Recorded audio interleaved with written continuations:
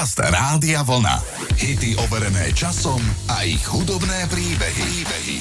V úvode dnešného programu Hity overené časom a ich hudobné príbehy si zahráme pesničku z populárneho filmu Pretty Woman. V ňom sa naplno presadila vtedy mladá a nie veľmi známa herečka Julia Roberts. Táto 173 cm vysoká ľaváčka má aktuálne 56 rokov a významne ubrala z pracovného tempa. Natočí maximálne jeden film do roka. Totiž napriek celosvetovej sláve a multimilionovým filmovým ponukám Julia Roberts si vybrala život matky troch detí a lojálnej manželky. Julia hovorí, že jej život je neuveriteľne naplnený. Prevzala každý aspekt práce v domácnosti. Roberts denne pripravuje raňajky pre svoje potomstvo, upratuje kuchyňu a kým sa dokončí jej nespočetné množstvo domácich prác, je čas ísť obedovať. Kým príde večera, má za sebou naplnený a produktívny deň. Už nemám ten luxus vysedávať, povedala herečka. Určite som mala more voľného času, kým som nemala deti. Ale neviem, čo som s toľkým časom robila a jednoducho som si ho nevážila, priznala pre New York Times. Myslím, že si mnohí pamätáte na jej rolu zvodnej prostitútky vo filme Pretty Woman z roku 1990. A aj na song It Must Have Been Love v podaní švédskych Roxette.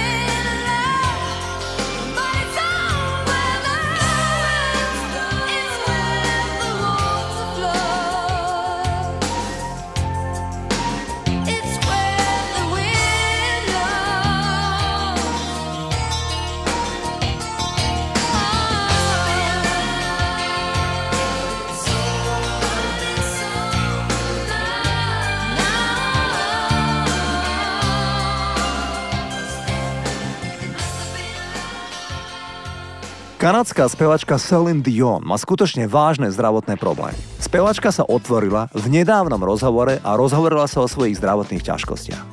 Od problémov s plodnosťou až po operáciu uší sa popová legenda podelila s fanušikmi, keď im odhalila aj aktuálnu diagnozu syndromu stuhnutej osoby alebo Steve Person syndrom.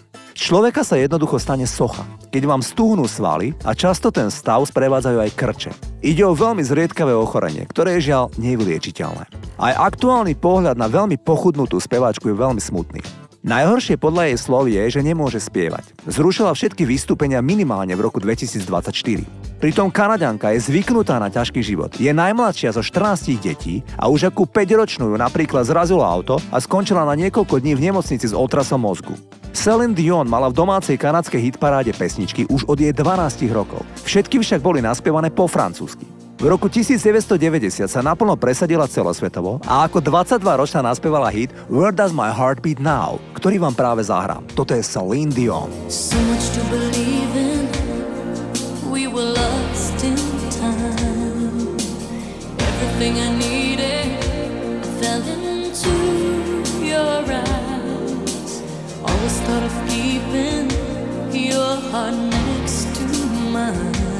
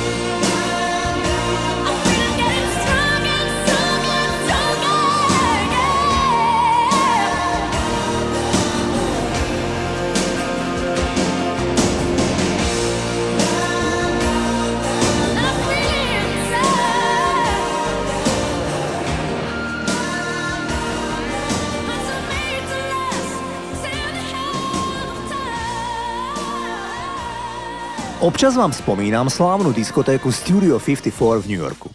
Tento diskoklub bol populárny v 70. rokoch minulého storočia. Do tohto klubu sa dostať bolo takmer nemožné. Išlo o podnik, kde chodili len tie najväčšie celebrity tej doby. Našiel som si zoznam ľudí, ktorí mali klubovú kartu a boli častými hostiami v tomto vychytenom klube. Ide o týchto ľudí. Mick Jagger, Calvin Klein, Donald Trump, David Bowie, Grace Jones, Salvador Dali, Cher, Andy Warhol, Karl Lagerfeld, Freddie Mercury, Jack Nicholson a mnohí, mnohí ďalší. Na Silvestra roku 1977 sa dovnútra nedostali členovia skupiny Chic, hoci ich disko nahrávky sa v tom čase už hrali v tom klube. Jednoducho na bráne ich otočili a nevpustili dnu. Reakcia kapely bola, že ešte v ten deň napísali superhit, ktorý pomenovali ako odkaz miestnej security, teda fuck off. Ale keď sa to rozhodli nahrať, Berniemu Edwardsovi sa to nepozdávalo a povedal, že sa mu to nepáči, keď sa tam nadáva. Ten názov znel chabo, ale nahrali nové riadky a tam spievali A Freak Out, namiesto toho pôvodného vulgarizmu. Prišli s lepším názvom Le Freak. Odrazu boli vítaní aj v klube Studio 54, lebo Le Freak sa tam hral viackrát za noc a išlo jeden z najväčších hitov v histórii Studia 54. Toto je ten song.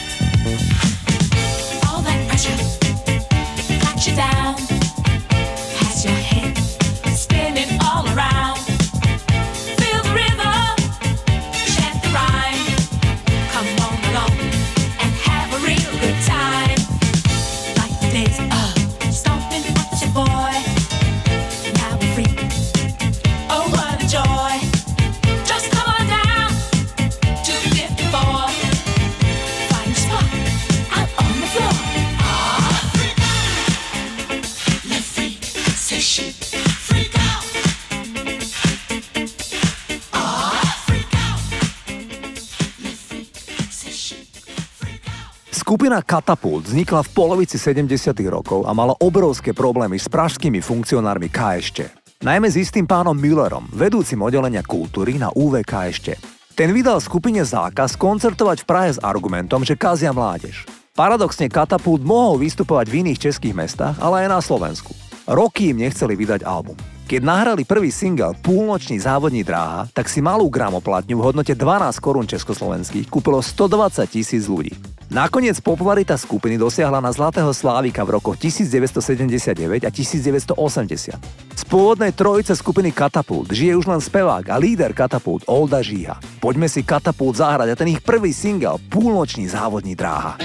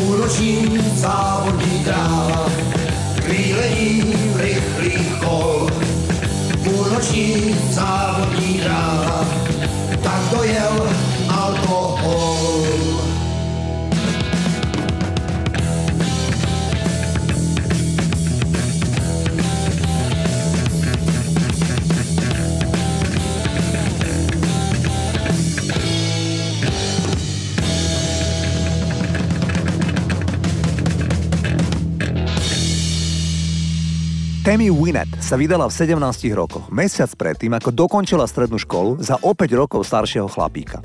Ten chlapík sa volal Bird. Bird a Wynette sa počas svojho vzťahu hádali. Mnohé z ich manželských konfliktov pramenili z toho, že Bird nebol schopný udržať si stabilnú prácu.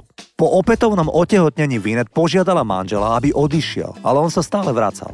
Po jednej hádke sa Vinet nervovo zrútila a jej rodina ju odviezla do psychiatrickej liečebne. Lekári jej diagnostikovali depresiu a podrobili ju 12 cyklom liečby elektrošokom. Po návrate z nemocnice stále trvala na podaní žiadosti o rozvod. V roku 1965 sa nakoniec rozviedli. V jednom z ich posledných stretnutí Vinet povedala Birdovi o svojej ambícii stať sa country speváčkou. Ten jej odpovedal, snívaj ďalej dieťa, snívaj ďalej. O 10 ročia neskôr sa Bird objavil na jednom z jej koncertov. Keď ju požiadal o autogram, podpísala ho Snívaj ďalej, Zlatko, Tammy. Tammy Wynette sa skutočne stala mimoriadne úspešnou country speváčkou a vtedy ju oslovili KLF, či by nehostovala v ich nahrávke Justify the Nation. KLF Tammy predstavili ako prvú dámu country music. Titul bol číslom 1 v 18 krajinách sveta. Nuže, čo sa stalo s prvou dámou country music? Žiaľ, tá zomrela len ako 55-ročná. Speváčka mala problémy s tým, že 10 ročia užívala silné lieky proti bolesti a stala sa na nich úplne závislá. Táto je závislosť prispela k tomu, že zomrela na zlyhanie orgánov v pomerne mladom veku. Poďme si zahrať ten superhit KLF a Tammy Wynette s názvom Justified and Ancient.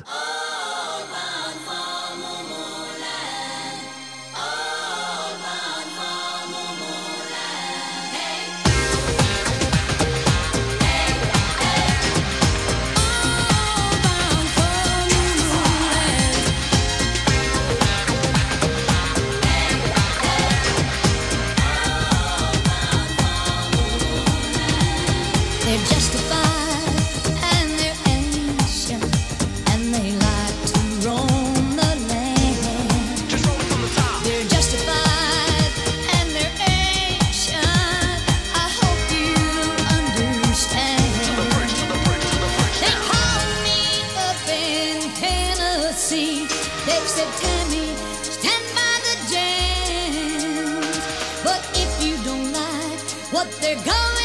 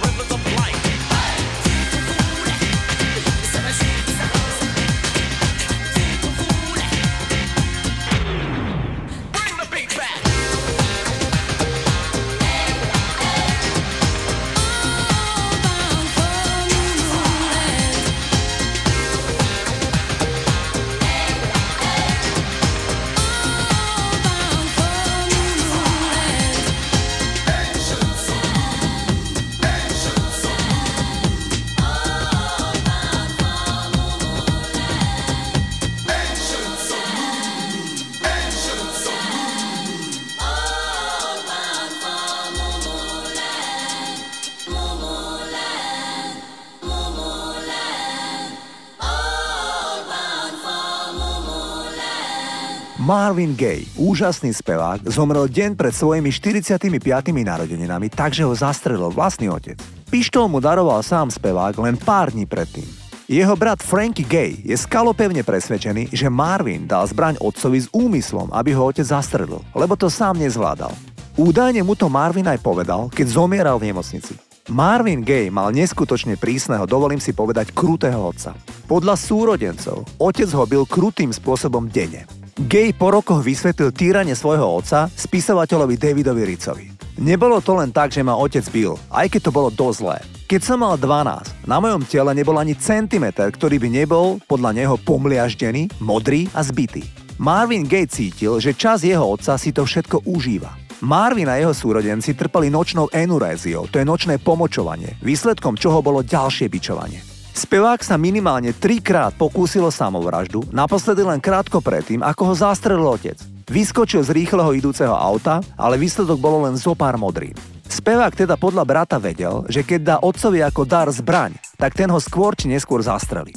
Marvin Gaye získal cenu Grammy len jediný raz, a to za nahrávku Sexual Healing. A tu vám teraz ponúkam.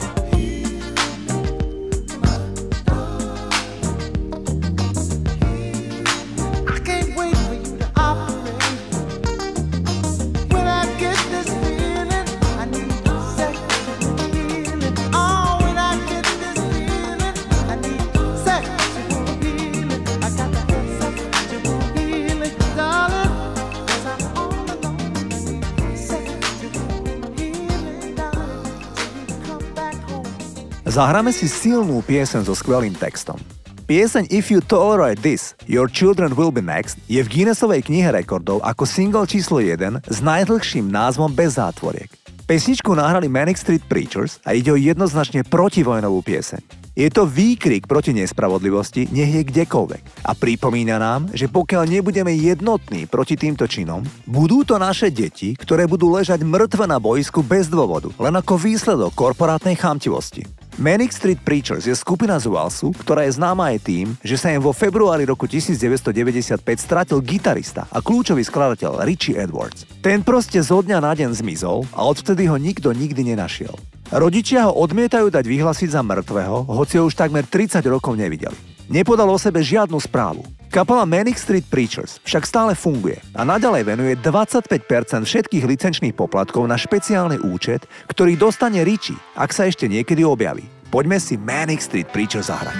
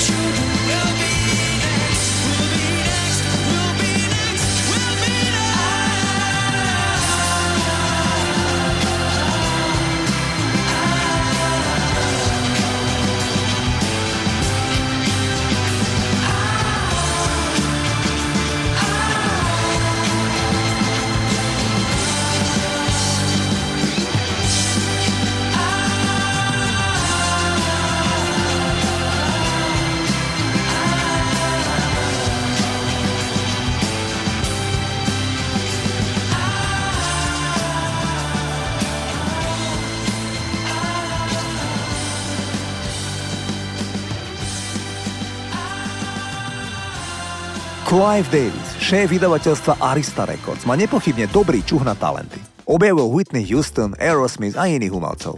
Ale na začiatku 80 rokov sa pomýlil v úsudku. Matthew Wilder mal podpísanú zmluvu z Arista Records a denne nosil nahrávky, ktoré Clive Davis všetky do jednej odmietal. Frustrovaný Wilder si za vlastné peniaze v noci prenajal štúdio aj hudobníkov a nahral pozitívny hit s názvom Break My Stride. Pesnička bola odkazom pre Davisa. V nahrávke sa spieva Nič nezlomí môj krk, nikto ma nespomalí. Ach nie, musím ísť ďalej. Ain't nothing gonna break my stride, nobody gonna slow me down. Oh no, I got to keep on moving. Davis si na magnetofónovej kazete vypočul song a napísal Zaujímavý song, ale nie hit. A vtedy sa Matthew Wilder rozhodol, že musí odísť do iného vydavateľstva, lebo toto nemá cenu. Davis sa asi čoskoro uvedomil, keď titul bol celosvetovým hitom a kúpili si ho milióny ľudí. Nepochybne si pamätáte aj vy na titul Break My Stride, toto je Matthew Wilder.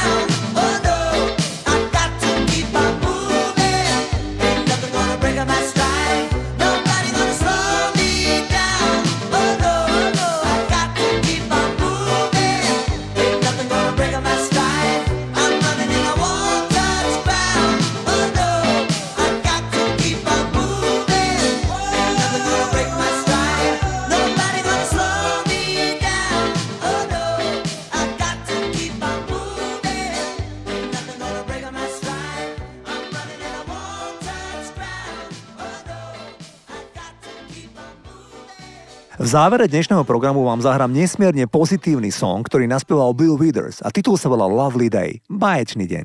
Withers slúžil 9 rokov u amerického námorníctva a nič nenasvedčovalo tomu, že by sa mohol presadiť ako spevák. Keď ho prepustili z námorníctva, zamestnal sa v spoločnosti, kde osobne vyrábal toalety na lietadla Boeing 747 Jumbo Jet. Až vo veku 32 rokov si ho všimli a začal sa presadzovať ako spevák. Bill Withers nahral niekoľko zaujímavých albumov a získal dokonca trikrát cenu Grammy, aby sa v roku 1985 pobral do hudobného dôchodku. Vysvetlil to tým, že 32 rokov svojho života bol socializovaný ako obyčajný chlap, ktorý mal svoj život predtým, ako sa hudobne presadil a preto mu nerobilo problém po niekoľkých rokoch v showbiznise z neho odísť, lebo mu to neskôr prestalo vyhovovať. Jeho spomienky na námorníctvo boli dobré, najmä z dôvodu, že tam absolvoval logopédiu, aby sa zbavil koktania. Totiž tento populárny spevák v mladosti silne koktal. Poďme si zahrať ten krásny titul s názvom Lovely Day, toto je Bill Withers. When I wake up in the morning, love And the sunlight hurts my eyes